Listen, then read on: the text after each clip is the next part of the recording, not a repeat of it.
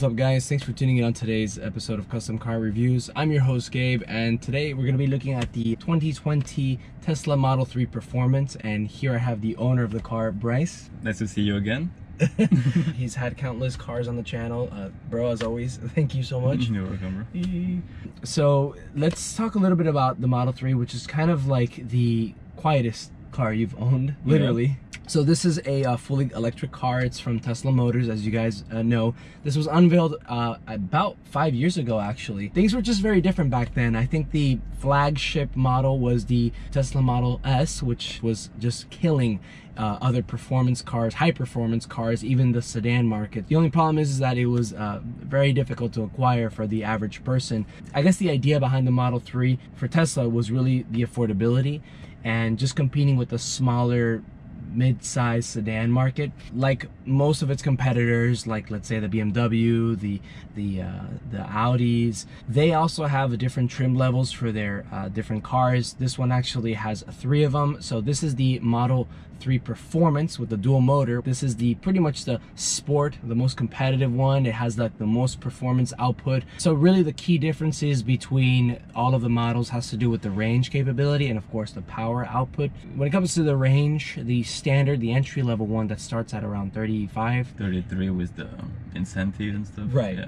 So that one is about 263 miles. So then you have the longer range, which is the intermediate that actually shoots up to 363 uh, miles. So that's, again, that's more for like traveling, uh, going longer distances. And then of course this one is the performance and it has about 315 miles. It's not too bad compared to the longer range. It's a lot more than the uh, the standard one. It's yeah. about 40 more. Starting is $55,000 on this particular Model 3 Performance. Uh, this one's spec'd out to be 68 because it has a bunch of other features that we'll cover uh, in a moment. The most craziest thing about this car is just how fast it is, especially off the line.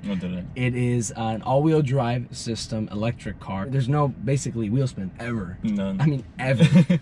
All of that makes this about a 2.9 seconds 0 to 60. That's faster than the Superleggera DB11, faster than the Lamborghini Reventon, faster than the C7 ZR1 off the line. Quarter mile, that's a different story. Yeah. But nonetheless, 0 to 60 is what the common situation in the city is going to present itself. So the latest update, performance update that came out, granted this car 5% more horsepower with a couple other tweaks fixing on the self-driving which we'll cover in a moment. From the factory this comes with about 450 that 5% increase it bumps it all the way to like 475. When it comes to the uh, overall look of the car I am pretty impressed with the overall design. A lot of car YouTubers actually have compared this to uh, a frog. If this was in a green color, like a very bright green color, yeah, I would definitely see it as a frog. But this one's specced out in a multi-red color paint job. It's about $2,000. It's a beautiful color. One of the things that I do have to say is really impressive about this car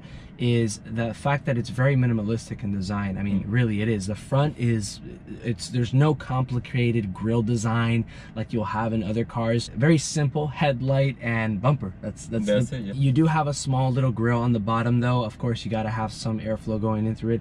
Now on the side, he's actually added two little carbon fiber yeah. winglets on the side. Really, really cool. And right beneath them, you do have like little ducts, air ducts that'll channel the air out, which is, I thought it was really cool. That's really cool. I, I thought it was a really nice touch. So as we move towards the side of the car, um, again, very, very sleek design. What's really cool about this car is that it kind of has like a hatchback type of feel like especially on the profile of the car. It's not a technically a hatchback. It's got like a, a like a more like pronounced end. It's, so it's a very interesting design. Of course on the profile of the car you see these amazing very aggressive black matte black uh, wheels that hide the very nice Brembo brakes uh, in red paint color. I think that's a really cool design. I actually like it how these are flat black. I think if they were glossy it would kind of like distract it really good spec out dude. Thank you. So as we move to the rear of the car first thing that i think a lot of people noticed is of course the carbon fiber spoiler that it has there uh, from the factory. Very nice you know it's it's not too extreme very impressive but uh, nonetheless it's kind of like a little touch to add to the sportiness. But the back end i think is they did a great job on it.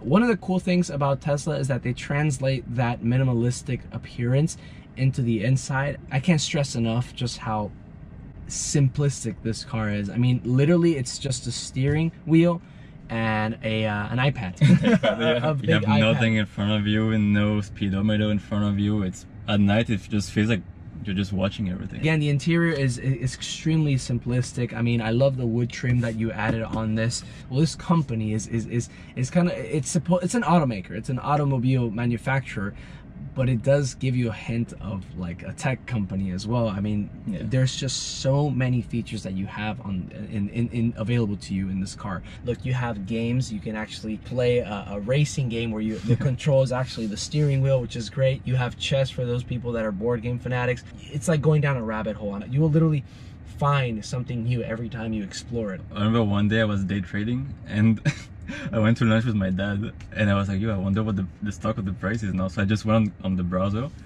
and I saw the price went up like slightly, like two bucks, and I was like, oh shit, it's time. And I was like self-driving and trading at the same time. It kind of feels like this is a computer on wheels. Uh, if That's you what will. it is. That's what it is. literally the storage in the trunk is really good as well the storage in the front is also pretty acceptable too you can Yeah. put a like a backpack yeah, like groceries. That's what I groceries yeah. backpacks good good it's also pretty impressive when you pop the front and then people are like what the heck where's the engine on this thing the center console here has plenty of space as well There's no transmission, so all of that space is legit storage. they've actually gone ahead with creating a pseudo leather it's kind of like the vegan leather Vegan leather. if you will so this will definitely resonate with a lot of millennials I, if you're definitely somebody that is conscientious of the environment this is something that you might want to look at as well very comfortable seats Insanely i mean comfortable. it's a very like plushy coming from the M3 that was so stiff, Stiff. and this is just a couch. Like you just sink in. It's, it's so nice. and one of the cool things is that even though you sink in the bolsters still feel pretty tight i'm not gonna lie. It does have also alcantara on the sides here kind of gives you like that very expensive sportier Sporty, yeah. car feel. Really really nice. The back seats just like in any other performance sedan are pretty spacious as well uh, something actually that uh, the owner has added to the car that does not come with it obviously are these Govee LED car Yeah. lights that uh, really add a little bit more festivity to the car I mean look it's a really fun At car night, yeah. I actually have a video that has a tutorial of installing them on, on any car and how to use the app. Link in the description below or on the cards above. Alright guys, so now that we've talked a little bit about the interior, exterior, some of the performance characteristics of this car, I think now would be an appropriate time to uh, get behind the wheel and let's uh, go try this shit. let's go drive it.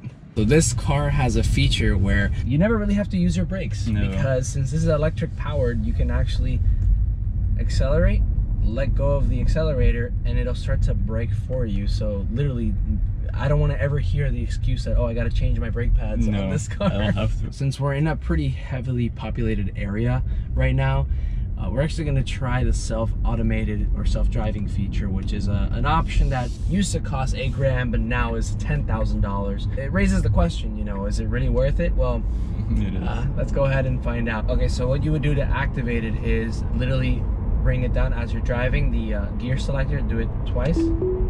Let go of everything and let Jesus take the wheel. No hands. Jesus has taken the wheel. I bro, you press the brake. You can't be I scared I, like I, I this. got. I, I'm kind of scared, you can't be scared like this. okay, this is. So now it's gonna stop because it sees the red light. So to activate it back, just press it down once. All right, so I'll engage it again. This is some bumper to bumper traffic right here. This is so cool. So we're going to. Save to do so, it's gonna choose by itself. that is something that at first you try it and it's like, oh my god. One of the things that I still can't get out of my mind is just how insanely quiet it is. Like for somebody that's coming from a loud car like Yeah. me, and you, you, Yeah. you've had some, your fair share of loud cars. How has the transition been? I mean, are you used to it now? I feel like I'm getting older and I don't want to make as much noise as I You don't used feel to. it. You are. Thanks. It feels faster anyway because you can actually floor the car and nobody's looking at you because you're just nobody hears you. So it's actually pretty. How the tables have turned. Yeah. Now, it wouldn't be fair to say that I've never experienced this. I have, but as a driver, well, it's, it's been some time, so I need some uh. Reminder. Look at that handling.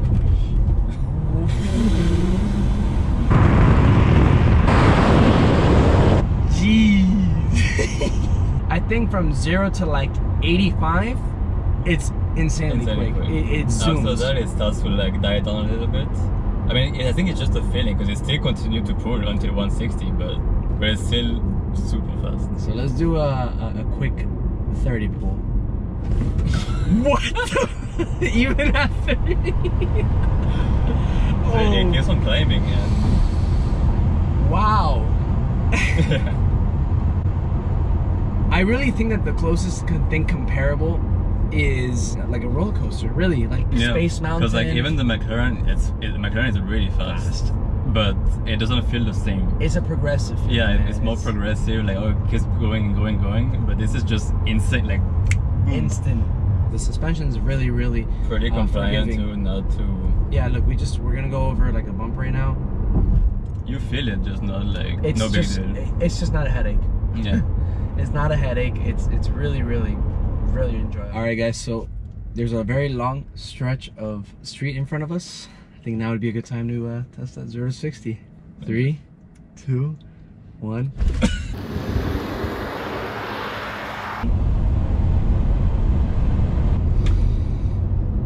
What do you think of the brakes? Not good. Not good. Right? Not good. They're they're um they're pretty sluggish. This one's a little slow. It's very very slow actually. uh, actually, now that I'm thinking about it, is there any other package that they offer from the factory to to remedy these? Because I mean, again, they're not the greatest. Yeah, I mean, since they introduced Track Mode V2, and with that they put a, a package with wheels and brakes. It's around five grand, I think. And yeah, it just gives you the new wheels, new tires, and um, the brakes. All right, so let's take this turn a little aggressively.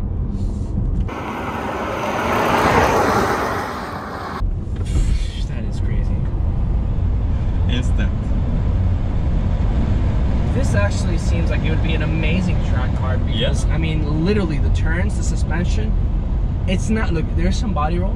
It's not as planted Yeah. as the M3 was, uh, but the fact that this car can literally accelerate and just go without any Like drama. no, correct. Because you're, you're still turning and you start Yep. accelerating. Like you don't have to wait until you're straight to start. So now we're gonna go ahead and switch it to track mode. Okay, so in track mode, one of the cool things about it is that you can actually customize it uh, immensely. Just like you can customize the steering and every other feature, suspension, you can actually customize and, and actually build different profiles. Like for example, we're gonna use uh, the name GV mode for this review. Uh, we can actually change the stability assistance. We can change the handling balances. I mean, if you want to divert it more to the front, to the rear. Uh, In the middle. regenerative braking, which is essentially what Yeah. uh, that feature is, where you let off the gas and it'll just like kill the the power for Like you. you can choose the stability assist. You want super like stability or you want none. I think I think for the purpose of this review, let's leave it with as much stability assist Let's as do a seven and let's do a a 70 30. I think that's pretty conservative. Okay. All right, so now we are on GV mode. GV. I just can't get over how I'm holding on.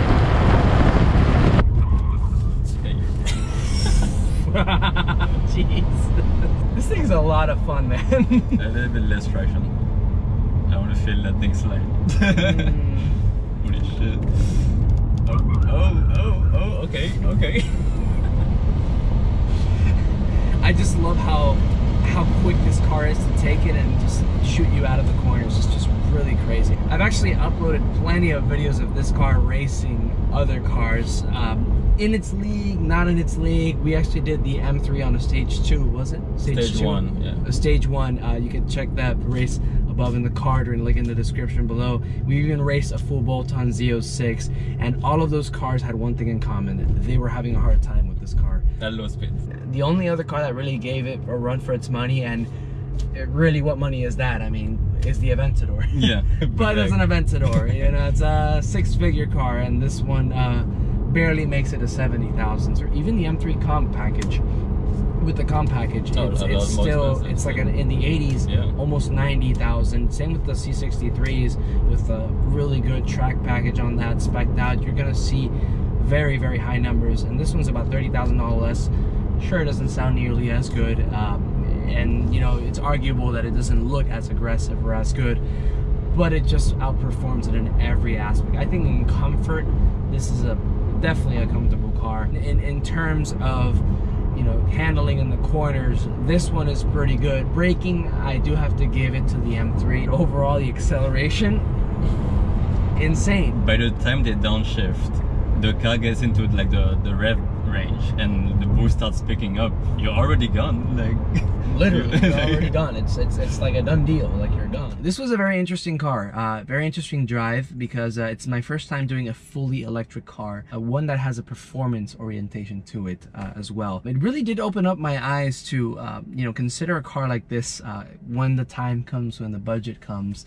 I, I think it's really really impressive overall design interior driving everything is just really really impressive with this car me i've always been very techy and I love I have a passion for cars, so it's like every, the two of them are mixed together. It's like it's perfect. It's like, I think exactly that's what yeah. uh, Tesla, the execs, Elon, everybody has in mind. Let's reach out to the people that love cars and technology. And technology. I hope you guys found this informative and entertaining as well. Don't forget to uh, like this video, guys. It helps out with the algorithm. Give it a like if you guys found this car exciting as much as we find it exciting. don't forget to comment. What's your favorite part about the Tesla? Would you guys get a Tesla? And guys, don't forget to hit the notification bell. If you guys found this video informative and you guys like the channel, uh, get on the Noti Gang. Very, very uh, cool way of getting my videos on the spot. Thank you guys for watching so much, and I will you next time.